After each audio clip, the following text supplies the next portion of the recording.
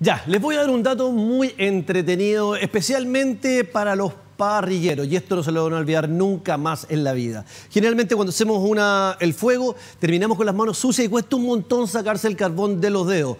¿Qué más fácil que tomar un poquitito de la balosa antes de hacer el fuego, pasarlo por las manos como si fuera una crema, bien entre medio de los dedos, bien por aquí, bien por allá, dejarlo un poco que se seque, armar el fuego después y solamente tienen que abrir el chorro de agua, ponen las manos bajo el chorro, hacen así y todo el carbón desaparece. Un dato espectacular para que puedan utilizar en vez de estar con todo el, el problema de que quedan las uñas. ¿Qué mejor? Ahí tienen, la próxima parrilla, lista la pega el carbón.